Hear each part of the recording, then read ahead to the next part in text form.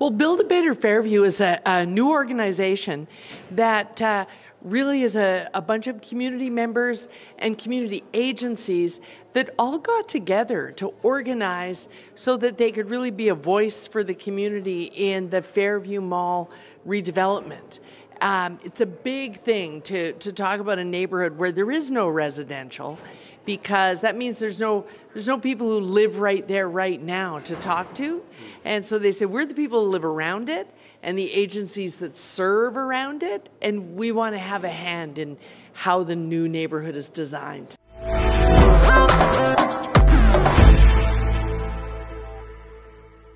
I don't know that everyone is familiar with Build a Better Fairview, but we are a group of service providers in the area as well as community members who are uh, concerned or have concerns about this development and so we want to have a platform for those concerns to be heard so we've been working with I know many of the folks from Cadillac Fairview. We've been working with the city councilor's office um, as well as the city planner's office.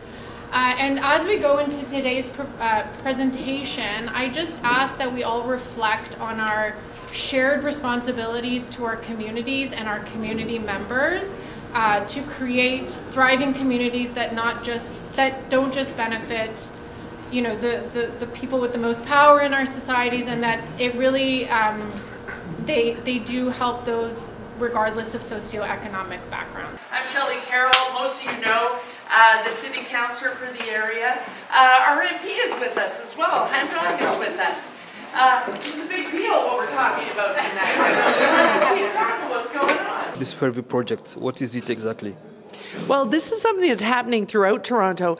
A lot of the uh, shopping malls that were built in the 60s um, and, and, into the 70s, uh, they were built in such a way that they were designed that you just drive there and get inside, and everything happens inside. And the city has gone through a process over the last number of years to look at, you know, that's wasted space. First of all, too much paved surface. It's not really good for the environment the way it's designed. We're building subways that run right by these malls, so why is everyone driving there? So we're rethinking them ourselves. And now the owners of those malls, Cadillac Fairview is just one of the many uh, mall builders and operators that is looking at if we take away our surface parking and we deal with that some other way, is there room to build housing? And so this application is about surrounding Fairview Mall with additional housing. Toronto has the demand for housing. All three levels of government are working together to address that. At the federal level, government invests lots of money, billions of dollars, to uh, boost the supply. So I think what we hear tonight uh, was a lot of um, you know, constructive ideas. But what I didn't hear tonight is that not in my backyard, which is a good sign, right? So we recognize that Toronto needs more housing we welcome with open arms so new residents, new families are coming to Valley North. We certainly have uh, the, uh, you know, whether it's the mall, the school, or the employment opportunity, we have those attractants here.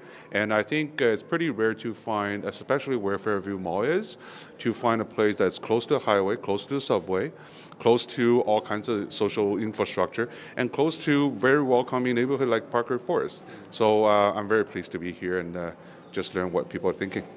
Build a Better Fairview um, is not just the members. It's, um, we've done a lot of outreach, a lot of surveys, um, and gotten feedback from this community.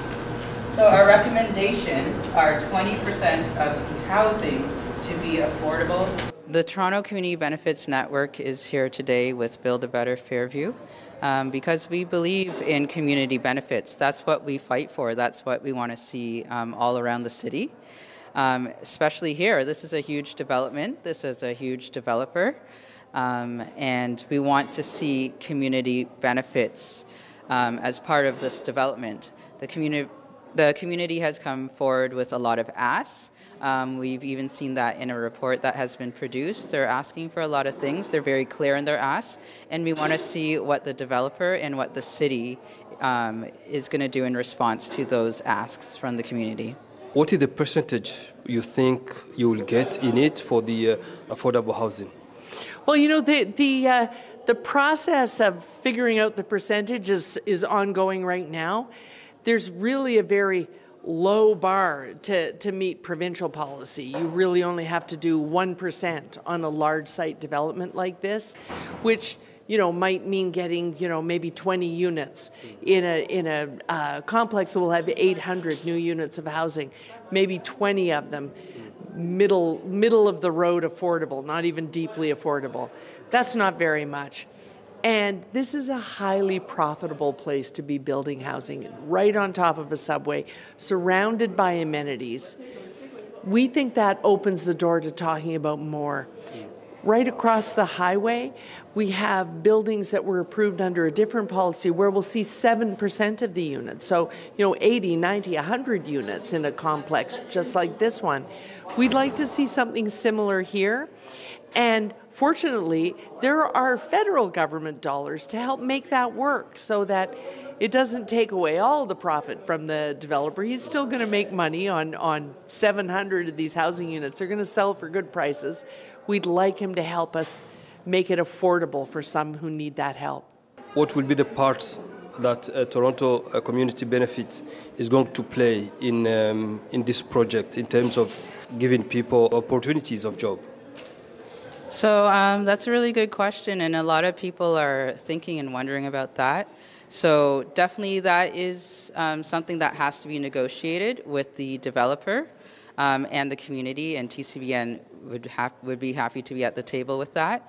Um, we would love to see good jobs from this this development. Um, we're talking about um, tall towers that are being built. that's construction that will provide good jobs for a number of years um, for the skilled trades. Um, so we definitely want, uh, if the developer could commit to community benefits even of having a certain percentage of local hires, equity hires during um, all phases of this development, that would be an amazing thing that they, they could agree to. Just as Councillor Carroll was speaking to, uh, we are going to have a presentation from Build a Better Fairview, who did a lot of the legwork to make sure that all of you folks were here in this room so we could hear directly from you. After that, we're going to go into a facilitated question and answer. So I ask that unless called upon, you save your questions until that question and answer period. So if you have a phone or a pen and paper, just try to keep track of those. What are some of those major points raised by the uh, participant today here? Well, it comes down to, to put it simply, it's the the question of are we just building buildings around the mall, or are we creating a neighborhood around the mall? And if it's a neighborhood, that's the best result. But that means you've got to you got to design how the pedestrians will get around the mall differently than they do now. There are lots of problems today. We'd like to fix the problems and, in fact, anticipate what could be problems when there are residents on the site. We also need to look at there being amenities because the center we're in today for Parkway Forest is pretty busy all the time. So if you double the population in the neighborhood, we need more community amenities, more sports fields, uh, more green space. So it's all of those neighborhood amenities that have to be worked out, or else we're really just plopping buildings down in a parking lot. A few years ago, Canada adopted federal legislation, the National Housing Strategy Act, that actually recognizes that housing is a human right in Canada. And it implements that right. Um, and it commits the federal government to using a human rights approach in all of its housing policy. We saw you doing a presentation. What was it about? I was presenting about the fact that Canada, uh, five years ago, recognized that housing is a human right and implemented that in federal legislation for the first time. So, back in the 1970s, Canada signed some international treaties that recognize the human right to adequate housing, but this is the first time we have domestic legislation that confirms yes, adequate housing is a human right. It's just important for people to know that it is their human right to have adequate housing. Uh, I think a lot of us, you know, we think, well, if we can't afford our home, that's our fault and there's something we should be doing differently. But no, that's not the case. Our governments actually have a responsibility. Canada's a wealthy country. It could provide and make sure that everyone here has adequate housing, um, and it, it needs to do so. When people understand that, when they understand that it's their human right, they're going to keep pushing, like the residents here are doing today. When they see new housing being built in their neighborhood, they're going to say some of that has to be affordable for lower income people. It has to be accessible for seniors and people with disabilities. We have to make sure the conditions are decent and that tenants can be secure in their homes. So, all of those are parts of what makes adequate housing, and it's really up to the people to, to claim that and, and make sure that their governments follow through. If you live in this neighborhood or you're deeply interested in this thing and you, you aren't on my e-blast, um, then you may get it. If you've signed up at a consultation and given your email address to planning, you may get it. If you want to be sure you're going to get it, sign up for my e-blast. If this is the only thing you care about, then every week when you see that thing on Thursday, delete it until it says development update. and if there's a development update, that's what it's going to say. I'm one of those people who like maybe tomorrow uh, to profit from those affordable houses. What to do?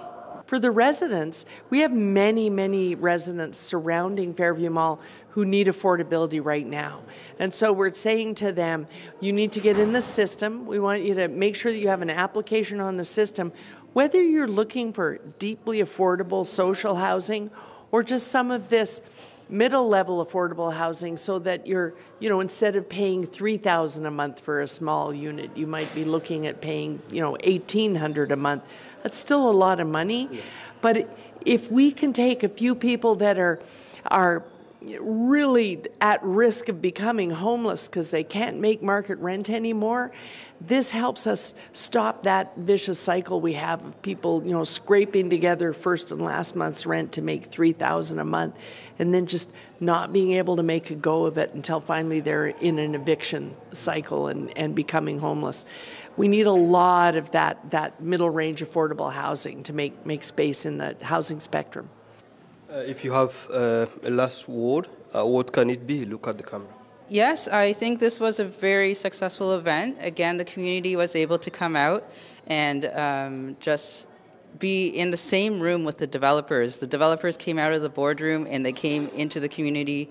Um, and then also the city as well, city staff and the councillor was here. So we had a lot of um, stakeholders at this meeting tonight. Um, a lot was shared. And we hope that these things are taken back by the city staff, by the developers, by the province, and that we can see some gains in all these areas like affordable housing, parkland, better streetscapes, and all these community asks, community benefits for the Fairview Mall development.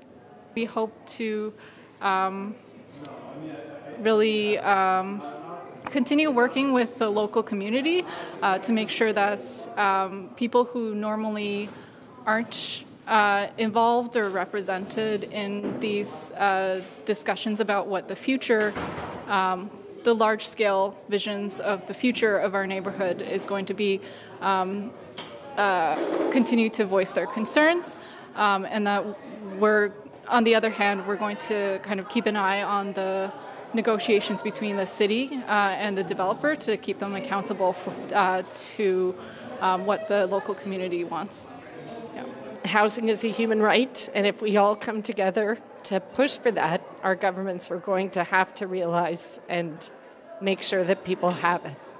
Very pleased to be here and in this consultation about a future project taking place in Fairview Mall.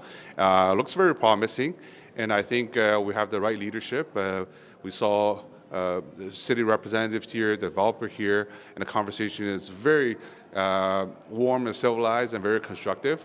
And that's, uh, that's how things are done here in Don Valley North. Well, simply that uh, we're, we're also very grateful. This applicant has agreed to keep working with the community, and they don't have to. Provincial policy says they could just go to the province right now, but they're still talking to the community, and that's a good sign. Thank you. 啊。